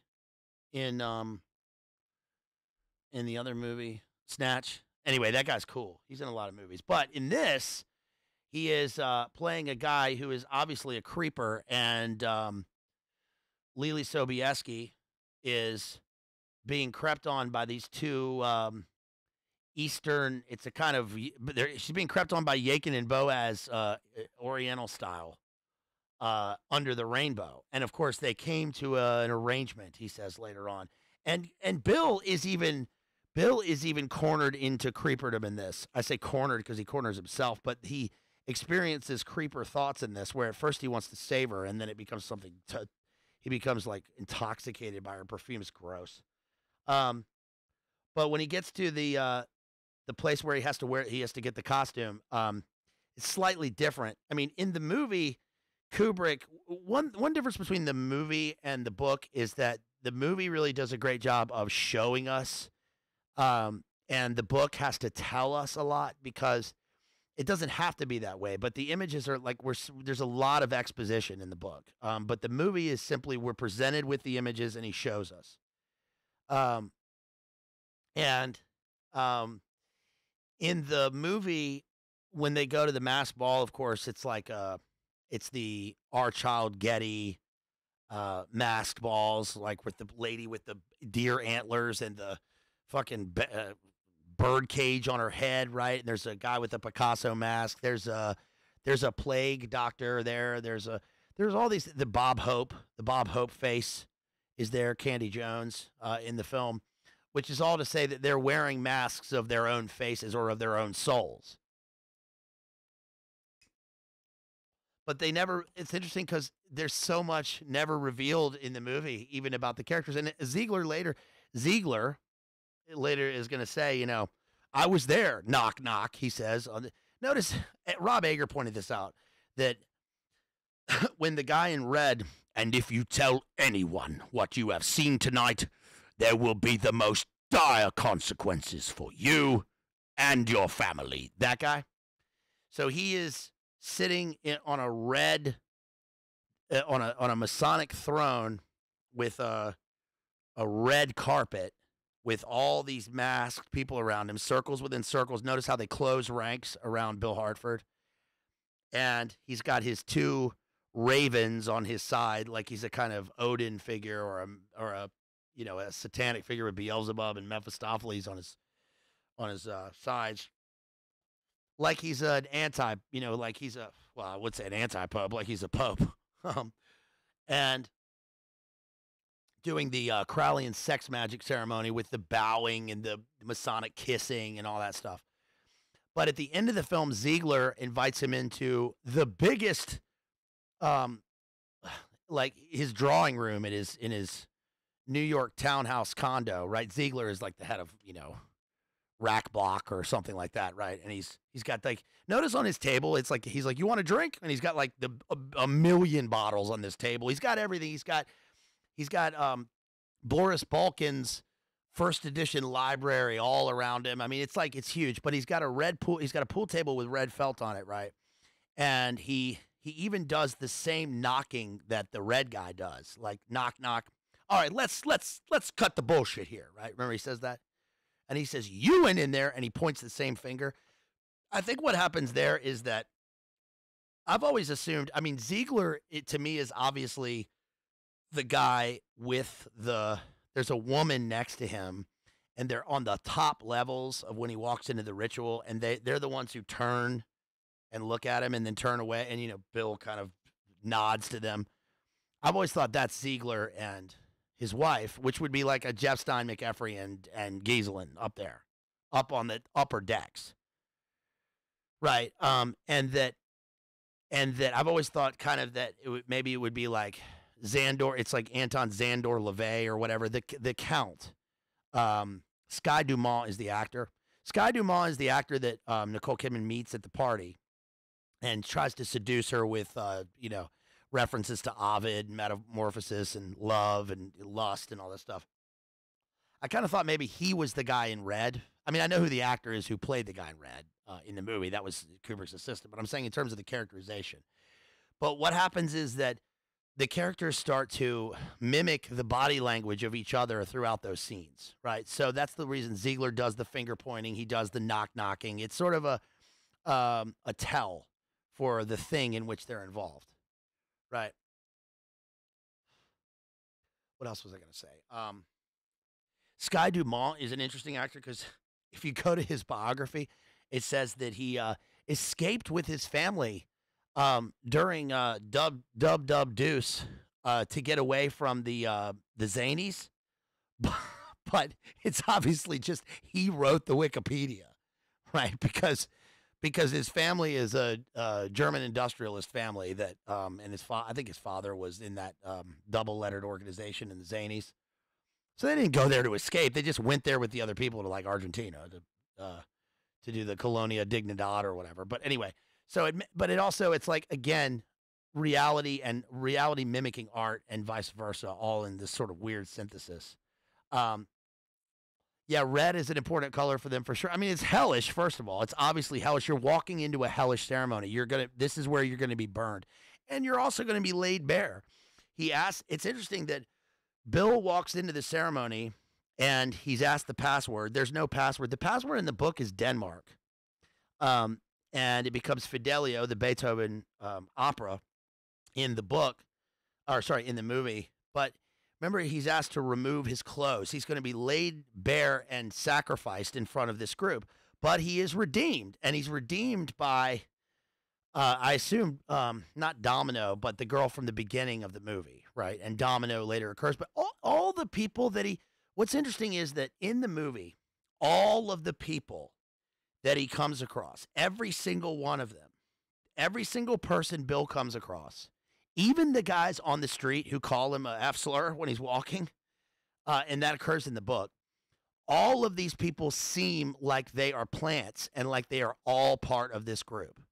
Like he goes to the newsstand and he picks up the newspaper and it says "Lucky to be alive," right? And then he's got the guy gang stalking him, doing a revolving tail, walking down the street. That guy was at the ceremony.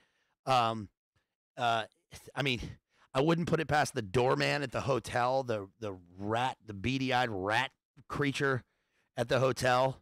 That guy was in the ceremony. Um, Do- Domino, the girl in with the red hair, the girl at the beginning, his wife.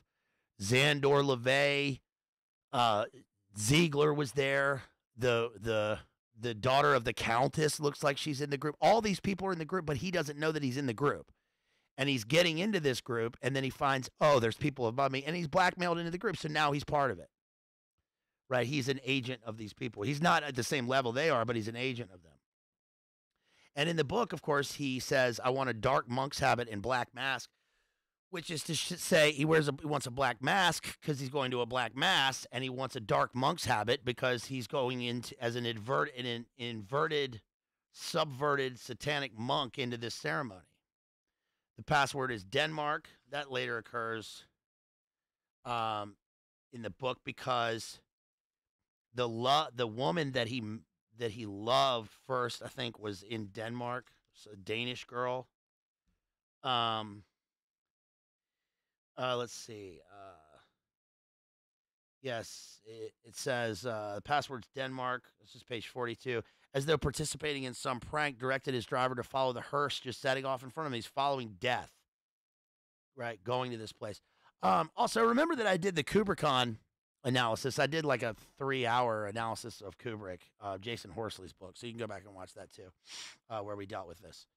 Um, he says, uh, Fridolin considered the possibility that his driver might lose sight of the coach ahead, but whenever he stuck his head out the window into the unnaturally warm air, he could still see the other coach a little distance in front and the coachman in his tall black top hat sitting motionless in the box.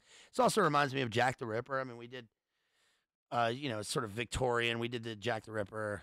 This is uh, this is um, fin de siècle, turn of the century, a little little past uh, 1888 Denmark. Um, I mean, 1888 uh, Victorian London with Jack the Ripper, but we did that stream on that too. It could all end disastrously, thought Fridolin, yet he was still conscious of the scent of roses and powder. He's constantly intoxicated by the scent of uh, the youthful, uh, budding uh, spring, rites of spring sense of roses and um, and powder and perfume. What does Rimbaud says? What does Rimbaud say? Uh, the purple perfumes of the polar night. What strange adventure did I brush past there? He asked himself. I shouldn't have left. Perhaps it was my duty not to. Right. It was your duty not to leave. Fucking creep. Leaving the at the under the rainbow place where that thing was happening? Yes. It was your duty not to leave there. Yeah, but you wanted you wanted this so badly. That was your first stop on the that was not your first stop, but that was the last stop before the big uh, blackmail ceremony. That was your chance to do something good. Far down to the left, floating in the haze, he could see the city gleaming with a thousand lights. Like he's looking down on the city of Dis here. Then, hearing the sounds of wheels behind him, he looked back out of the window. Two coaches were following them, and this pleased him since now the driver of the hearse could not possibly be suspicious of him. He took time and disguised himself. The coach came to a halt. Suppose, thought Fridolin, I didn't get out at all and drove back at once instead. But where to? Yeah, go back home. To the little uh, Pierrette or the little trollop in the Buchfeld de Gasse, or to Marianne, the daughter of the dead court counselor, or home. And with a slight shudder, he realized there was nowhere he wanted to go less. Or was it because that path seemed more circuitous to him? No, I can't go back, he thought to himself. My way lies forward, even were it to my death. He couldn't help laughing at these melodramatic notions, but even so, he did not feel altogether at his ease. Of course, he laughs. He laughs he has a devilish laughter, knowing that the way forward is the way into perdition. just like his wife. Just like his wife laughs at him. Just like just like Faust has this sense of hellish glee going into this shit, right? There was a garden gate standing wide open. So he's walking into he's walking into a kind of inverted neo-gnostic satanic garden here. The hearse in front of him drove on further down into the ravine, or as it seemed to him, into the dark abyss. Evidently, Nachtigall had already alighted. Fridolin hastily climbed out of his carriage and instructed the coachman to wait at the corner of his return, however long that might be. And to secure his further services, he paid him handsomely in advance, promis- promising him an equal uh, fee for the ride home, just like in the film.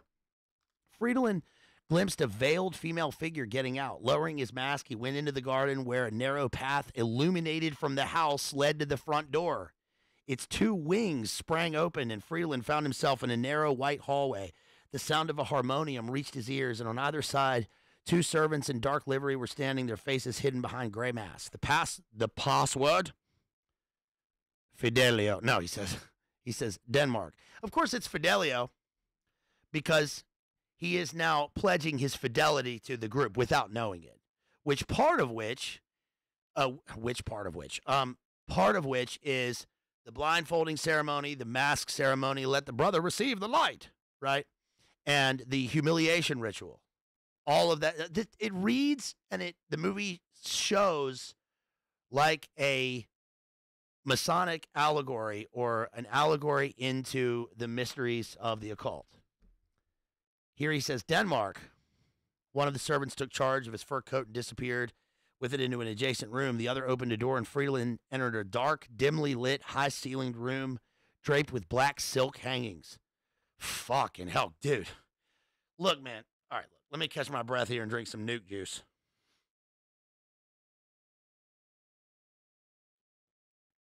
Ah! Ah! I'm fluoridated. Gross. Okay, look. Right, that's my last experiment with the nuclear juice. Um, if you're going to a party and uh, it's a masked ball and you get there and um, you don't know where you're going and there's a hearse driving you there and um, there's over the rainbow illumination, uh, two Masonic wings opening up, a dude in a throne, and a bunch of black drapes. You're you're you're at the Diddy party or whatever, you got to get the fuck out. Excuse my language. Do not go there. Go back and uh you, you first of all go back to that shop and fucking mm, okay, I can't say what I want to say, but you need to um you need to uh, uh be virtuous. Let's just say that. How about that? Vigorous virtue. That sounds good. That's what you need to do. You you know what you need to do. Look, are you strong enough? Right? Was it worth it? Okay. So he says, um, uh, let's see. His second gaze bored deep into Fridolin's eyes from behind his mask.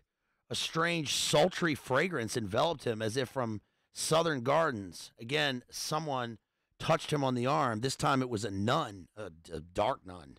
Like the others, she had covered her brow, head, and neck with a black veil, and her blood red mouth glistened beneath her black lace mask. Oh, fucking hell, man. Where am I? thought Fridolin. Among madmen, among conspirators? He says that in the book.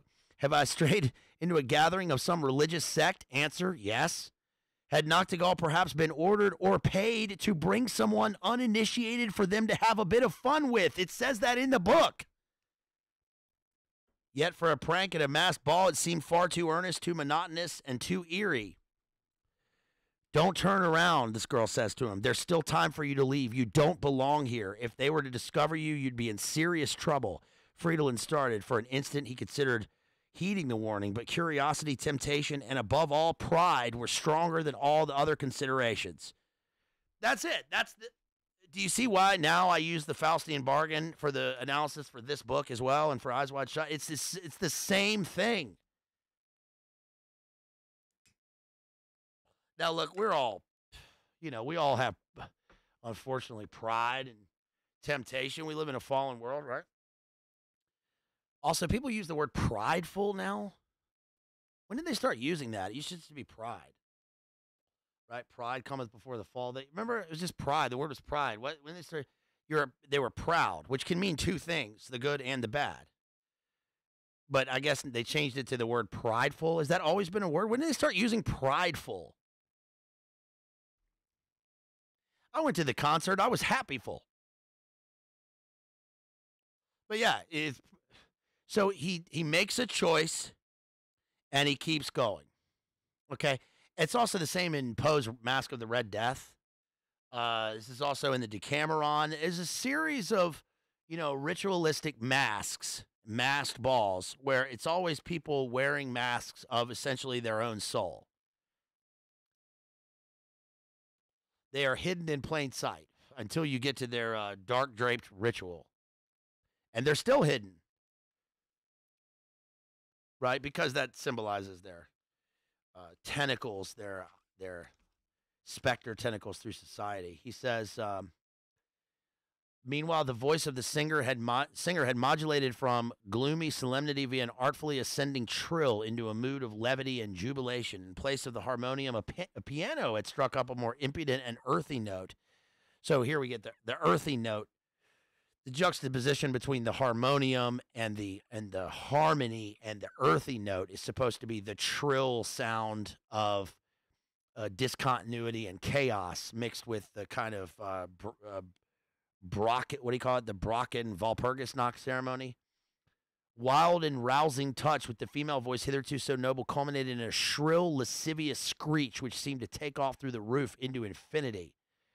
Doors on either side opened, and through one set, Fridolin recognized the shadowy outline of uh, Nightingale's figure at the piano while the room opposite was suffused with dazzling light. Yeah, dark, so dark the darkness was visible right? You're in the Luciferian light. Black lace mask over her face, but otherwise completely naked. Fridolin's eyes roved hungrily from sensuous to slender figures and from, oh, gross, I'm not going to say that. And the fact that each of these beauties still remain a mystery and that from behind the mask, large eyes as unfathomable as riddles sparkled at him, transformed his indescribably strong urge to watch into an almost intolerable torment of desire. Sensory, sensory temptation. The other men were evidently, it's all decay, though. Do you get it? It's all decay. All the sensory temptation is all just death and decay.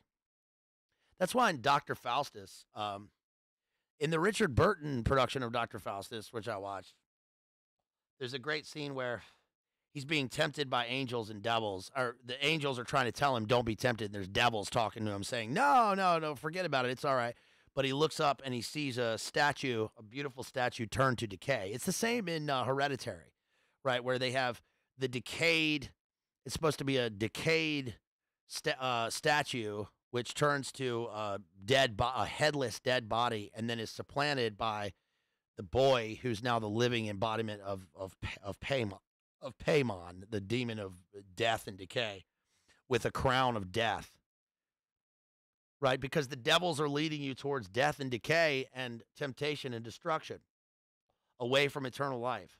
The first moments of breathtaking delight gave way to sighs of deep distress. A cry escaped from someone.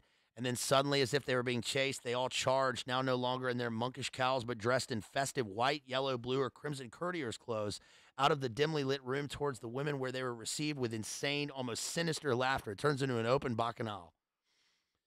Right. Remember the the bacchanal, the Bacchae, Euripides Bacchae, turns into a frenzy. So the the purpose is that for six months of the year, the women rove the countryside, right, drinking and merrymaking. You know, sex, drugs, and rock and roll, uh, wine, women, and song. And then for the other half, the hangover, uh, that results in decay and sputum and b- vomit and death right? Where the women rove the countryside, tearing the men to pieces. Don't ask questions, said the one who remained behind Fridolin, and don't be astonished at anything. I've done my best to mislead her, but I can tell you now it won't succeed for long. Fly while there's still time. That's, again, another Macbeth reference. Fly, Fleance! No more than my life can be at stake. And to me, this moment, you're worth it, he says. What a, what a dumbass. He doesn't. He, he just doesn't know. He knows, but he doesn't. He refuses to see it. The aura of lascivious secrets. There was a sea change he felt within himself. She seized his hands. One night, someone did take it into his head during the dance to strip the veil from one of us. They tore off his mask and drove him out with a whip. You may have read about a beautiful young girl. It was only a few weeks ago who took poison the day before her marriage, which he later is confronted as a uh, by the this doc this Doctor Adler, who's Ziegler in the movie, as a morphine OD. But they uh, they unalived her. He's spellbound. Um, oh, then on page um, 50 here, it says Hadn't it been a girl from an aristocratic family engaged to an Italian prince? There you go. There's your answer. It's not the it's not the ladies of the night that you think it is. Right? It's not the lowborn people. It's actually aristos. They're just made to be this to blackmail them and because high becomes low but low becomes high, right? But not in a not in a Christian sense. This is a they are debasing and and um, debasing themselves into decay and death here as part of this blackmail operation, but uh, also as part of this ceremony. Um, he says he might be among fools and perhaps even among profligates, but certainly not among criminals and thugs. Well, guess what? You are. These are. This is exactly what they are.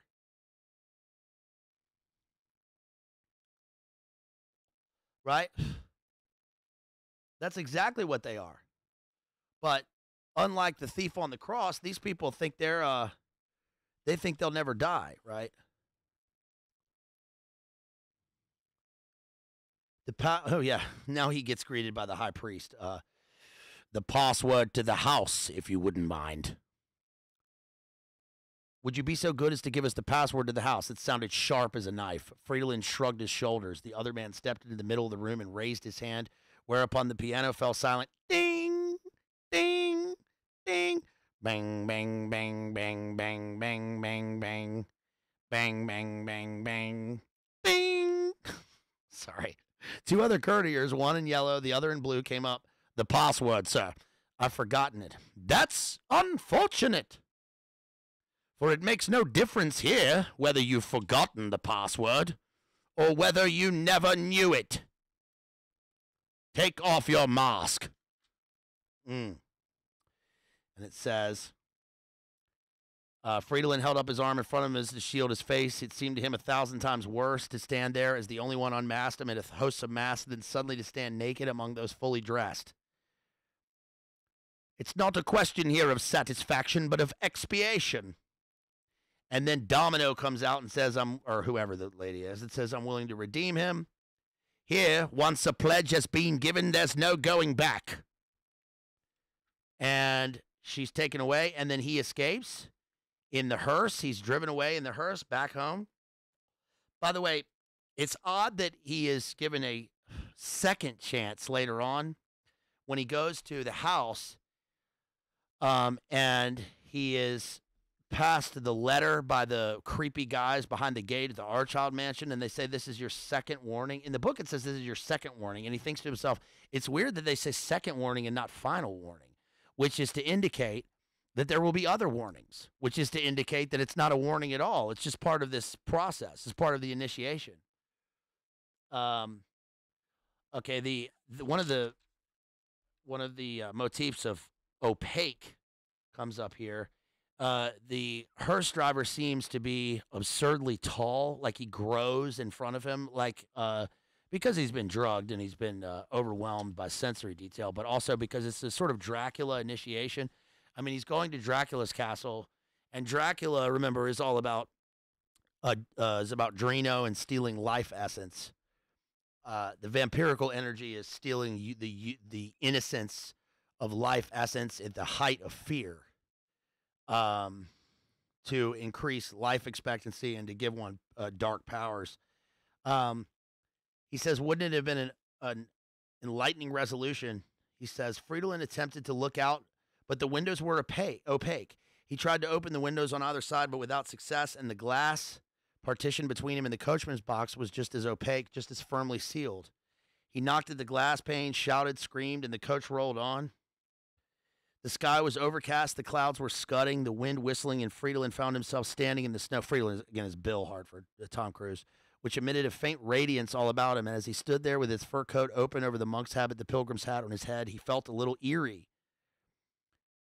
He remembered that his appearance must be more than a little uncanny. He was in serious danger. The thought of the things that might at that very moment be take, taking place inside the villa filled him with horror, despair, shame, and fear. And he felt like he had a knife between his ribs. But he says, Tomorrow is another day. And again, it crossed his mind that his body might already be carrying the seed of some fatal disease. Wasn't he perhaps lying at home in bed this very moment? Hadn't everything he believed he had experienced been nothing more than delirium? He tries to tell himself it was a dream and that he's in delirium because he's a doctor and because of something he got through that. Everything was fine. He's fully awake. He says he's fully awake because now he's awake in terms of what he's been initiated into. Um, and then he goes home and he sees uh, he sees his wife, and his wife tells him this awful story that we get in the movie about being violated, and that she's laughing in his face. Our clothes had disappeared. I was overcome by absolute horror, burning all consuming shame and at the same time anger against you as though you were responsible for this misfortune and all this horror, shame, and anger. Again, she she has the same she mimics the same feelings that he just had. Once you had disappeared, I felt totally at ease. I was neither sorry for you nor worried about you, but simply glad to be alone. And I ran happily across the meadows singing. And it was a tune from a dance we had listened to at that masked ball. she was there, dude right? I could see the city, but I somehow knew what it was like. It lay there far below me and was surrounded by a high wall and utterly fantastic and hard hard to describe in words. Not exactly oriental nor medieval. She's she's she is just recounting to him the same story that we just heard about him, but in a parable. This is part of the initiation. To me, it was as though I lived through innumerable days and nights, as though time and place no longer existed, and instead of the peaceful clearing surrounded by the woods and rock where I had once been before. There was now an extensive flowery plain stretching in every direction as far as the horizon. But whether there were three or ten or a thousand couples there beside myself, whether I could see them and whether I gave myself to that man only or to others as well, I couldn't say. The sheer bliss I experienced in the dream. There you stood, your hands tied behind your back, and all other couples in the unending tide of nakedness which surged around me. Uh, you were standing in the courtyard. A young woman wearing a diadem and purple gown appeared at a high arched window between red curtains. That's his sacrifice. Right? That was his that was his redeemer. You were prepared to become my paramour, in which case your death sentence could be remitted. At this, you remain true to me unto all eternity. At this, the princess shrugged her shoulders and waved into the void, and they whipped you and chastised you. The blood flowed from you in streams. And you greeted me with smiling eyes, carried out my wishes, felt tempted to laugh in your face with scorn, all because out of fidelity to me, Fidelio. So I burst out laughing as loudly and piercingly as I was able to, faithless, cruel, and treacherous, into sleep and oblivion. And there we are, lying side by side like mortal enemies. Now he's enemies with his wife, but they live together now. So he's eh, so that is supposed to mimic. Hold on, itch. Okay, I got it. um, that is supposed to mimic that your loved ones in this book and in the movie you they hate and their new loved ones the ones that they hate even more are the ones they're closest to in their blackmailed uh, pyramid group um, he even mentions a kind of DID here he says uh, the most let's see uh, reliable. He was a reliable, progressive doctor. This is page 80. A decent husband, family man, and father, and the same time, a profligate, seducer, and cynic who played with men and women at his, as his whim dictated. And the most agreeable thing of all about it was that later on, when Albertine imagined herself secure in the haven of her tranquil conjugal and family life, he would be able to smile coldly and confess his sins to her and thus get even for all the bitterness and shame that she had brought upon him in her dreams.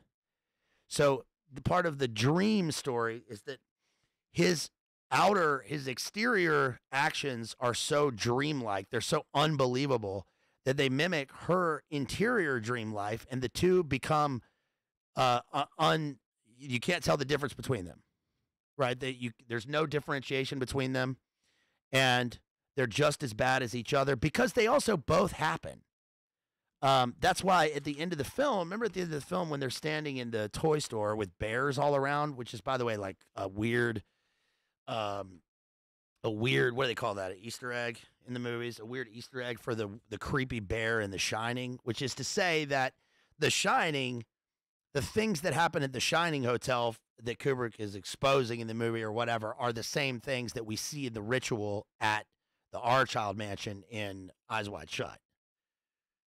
That you are you are now eyes open, you are awake while you're asleep in the Traum novel. Trauma Dream and that um, one of the things that they say to each other when they're at the uh, when they're at the toy store and and the daughter the daughter picks up like the monopoly board and it's got the ritual the magic circle ritual on it and then she goes and follows the the watchers right the finders the finders are there she goes off with the finders and they're sitting there talking for fucking 15 minutes in the store and they're not even looking around. Like where'd she go dude? And one of the things that they say to each other as they reconcile in that scene is she's she's like he's like so do you think that we can still be together? And she's like yes because the things that you did for one day out of the process of our whole marriage um, it's just one day and he says the thing about yeah just as just like your dreams are as real as the things that i did and then then she ends with the you know the sex magic keyword uh, at the end of the movie but it's crazy because they're only reconciled because now they are reconciled to being initiates. She was already in. I assume she was already in this thing. Um, she's a kind of uh, what is she's a Lola Zaza or whatever in the cult, and he's been initiated, you know, by the Magister. But DID even comes up in the book on page 83. Says he remembered a number of remarkable cases of a double identity he knew from books on psychiatry. A person would disappear suddenly from a perfectly orderly milieu, be forgotten, and then return months or years later, unable to remember where he'd been for all that time. Afterwards, someone who had known him in some distant land would recognize him, yet the homecomer would know nothing about it whatsoever. And in a milder form, they were experienced by a great many people. What about when one awoke from dreams, for example?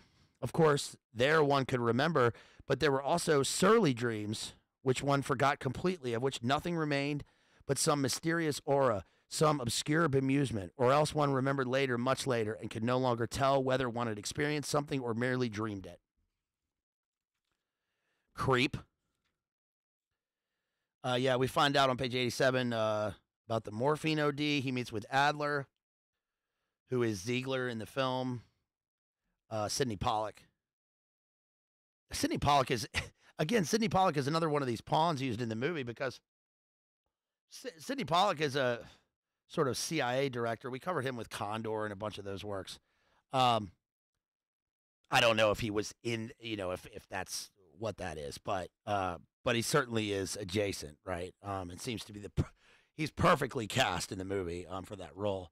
Yeah, page um, 91, morphine poisoning in the second clinic that evening. It should now have been laid out down here. Uh, he meets the face of death and decay, a completely null, vacant face, the face of death. Um, and he starts to like fondle the figure of Domino or, or whomever in the morgue. And the guy says, What on earth are you doing? As if he is, as if it's decay, right? I mean, it's all death and decay and destruction and, um, and, uh, making lust with death, uh, sex magic, Thelema ritual here.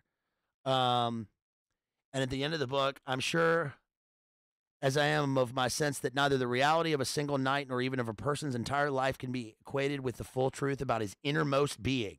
So the innermost being is again shown in the book and the movie and with Faust by the fact that it is the exterior symbol or the mask that shows the innermost being that's hidden behind the veil of secrecy and ritual initiation. So that's it. That's uh, Arthur Schnitzler's dream story or Traumnovelle. Uh, and Eyes Wide Shut by Stanley Kubrick, 1999, and Faust by uh, John Goethe. so, um, so that's it. What'd you guys think? Um, please make sure you leave me a comment afterwards. Let me know what you think. Give me some other uh, Faustian adjacent um, works that you can think of. Some people left some good comments in the post that I put up. But also, of course, we think of um, the picture of Dorian Gray is another one of these instances, slightly different. That's uh, that's making a deal, a bargain for a hellish existence in return for the exterior, um, you know, youthful physical beauty, which will decay in the flames of the fire that consumes the painting and the soul of um, of um, Dorian Gray at the end of the book. But there are a bunch of instances of this. Of course, uh, uh, Steppenwolf by Hesse covered this. Uh, Master and Margarita, right, was another example of this. So let me know what you guys think. Uh, let me get some super chats in real quick here. Yeah, shouts out again to Kristen for that five bucks on Cash App. Really appreciate you, Crystalline. Thank you so much. You are the best. Um, if you want to support me, please like and share the stream. You guys help me get get out there. Um, and the likes are really important. Obviously, we all know that the likes, how important the likes are for the algo. Leave a comment afterwards. Just put algo if you want right? Algo, boost, right? Gang, gang, whatever you're going to put. Dr. Acula, that's right. Dr. Frankenstein. Shouts out to Jason for that $10 PayPal. Thank you so much, Jason.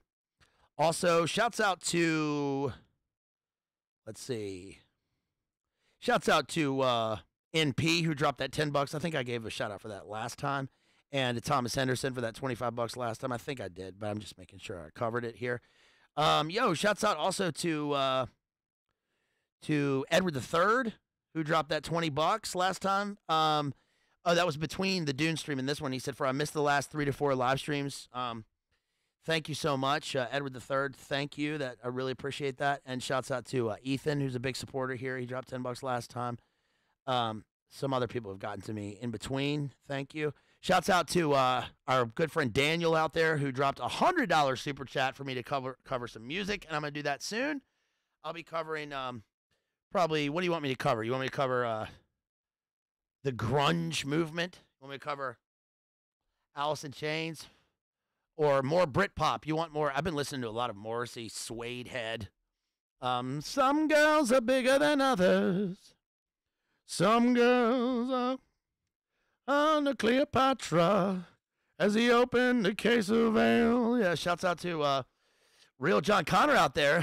Five bucks on Cash App for she had great pipes and lungs too. And lungs too. Yeah, thank you, real John Connor. Appreciate that. Thank you so much.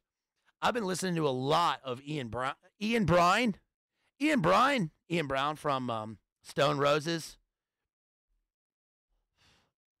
Fantastic expectation. Fear. F E A R. You got the fear. F- what does he say? Uh, finding everything and realizing.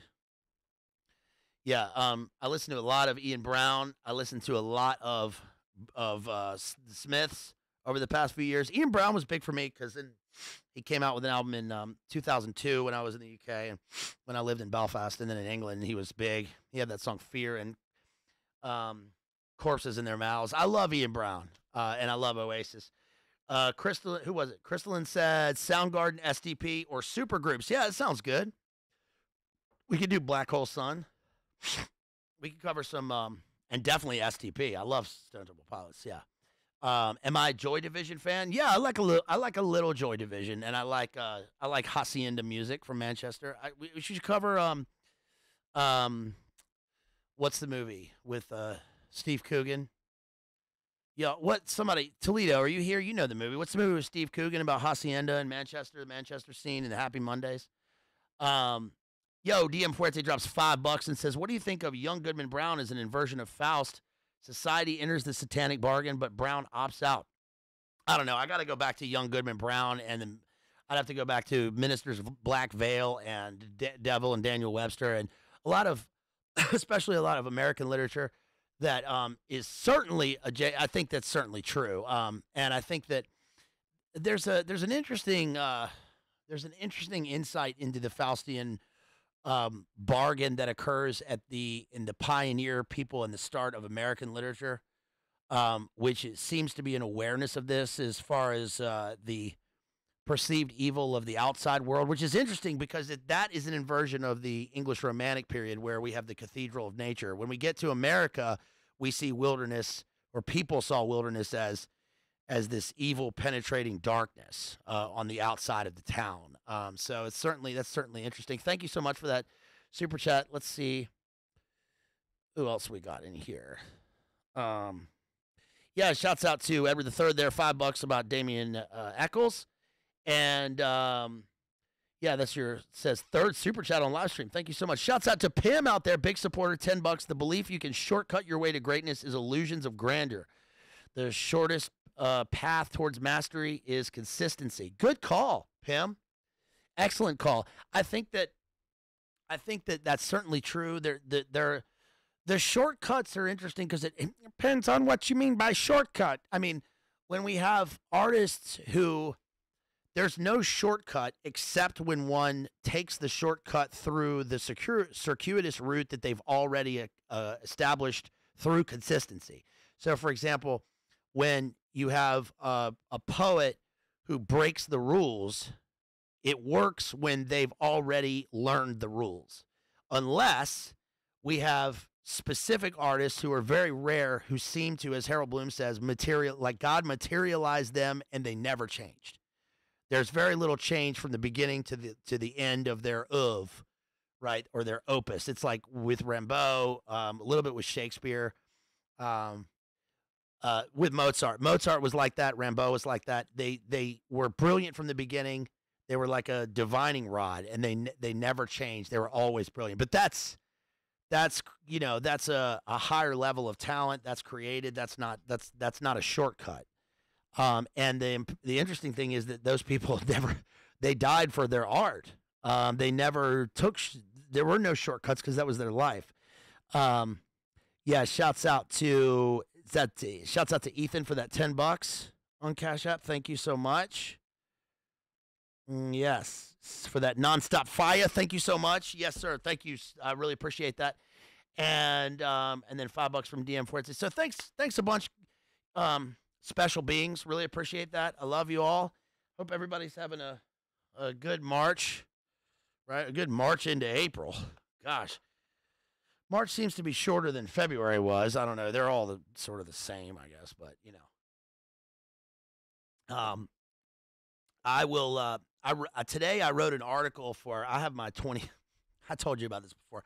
I have my twenty fifth high school reunion coming up, and I wrote a uh, and I wrote a uh, yeah Mozart was a Freemason, but he wasn't when he was five years old. I mean, you know. Um, and I wrote a um, an article for that, which I'm pretty happy with. That I was thinking about reading to you guys. I think you would appreciate it, uh, but.